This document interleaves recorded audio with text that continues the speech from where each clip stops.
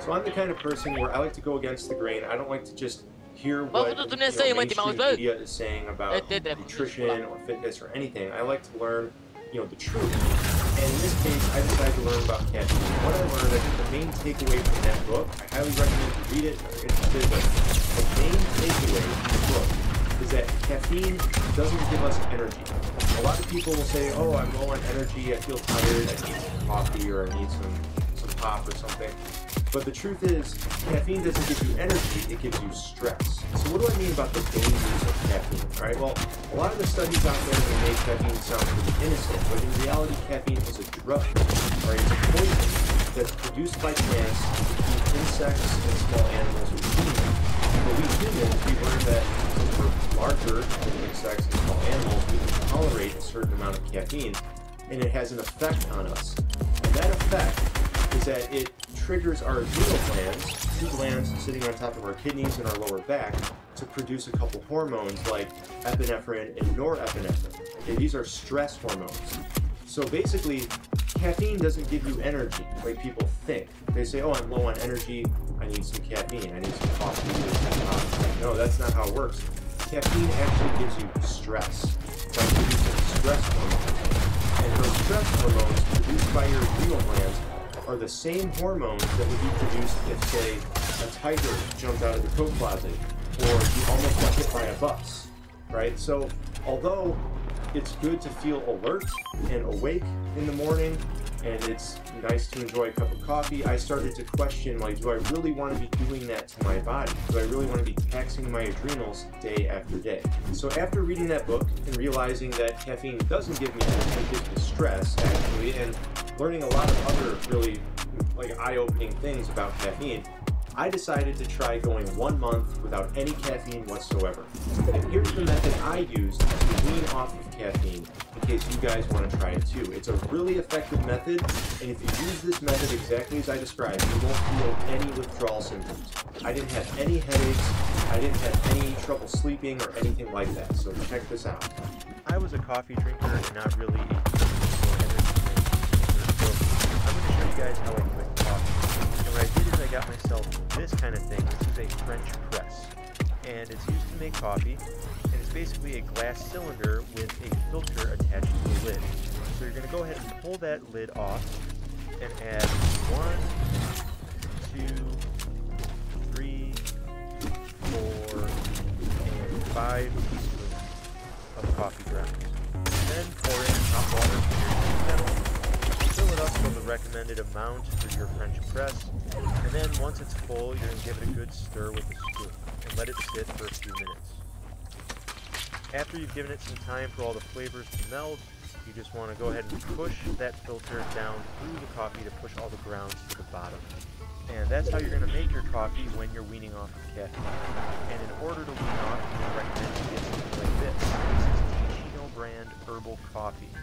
Alright, so being herbal, it's completely caffeine free, meaning it's not decaf, it is naturally caffeine free. It's made with spices like and roasted barley.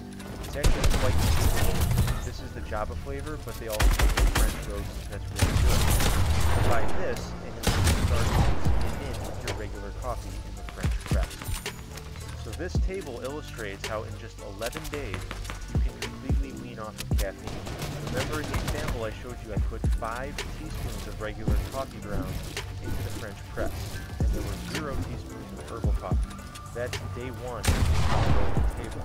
Now if you look at day 2, you reduce regular coffee by half a teaspoon to 4.5 teaspoons total, but then you're substituting that half teaspoon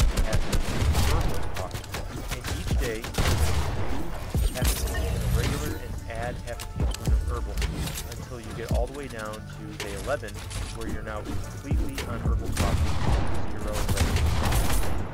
Trust me guys, this works. You have zero withdrawal symptoms. And if you do experience any withdrawal symptoms, just pause on whatever day you're at.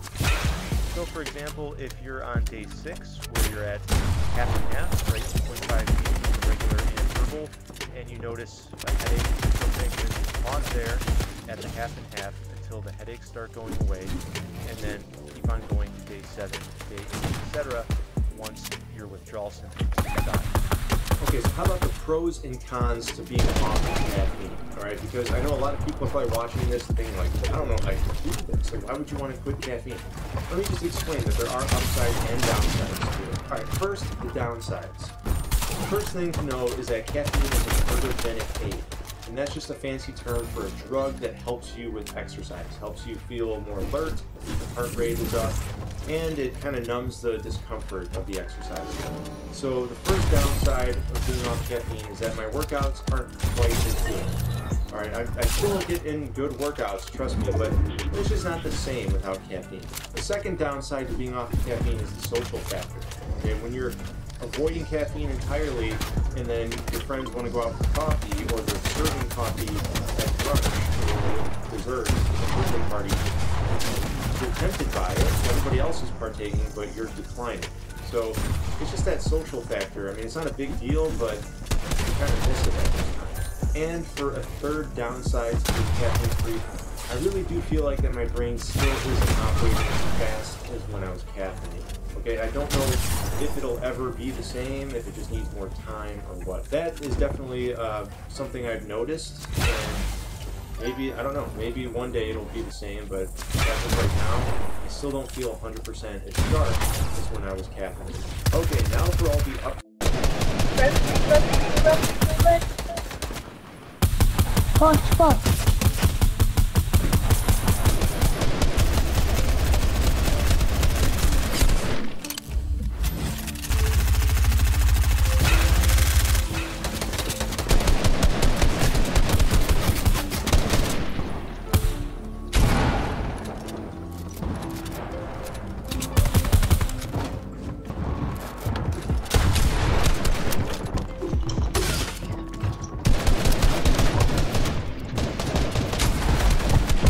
My god, you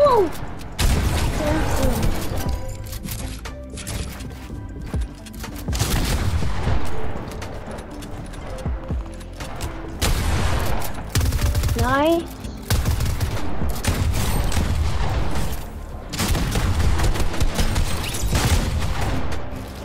You're getting buttons.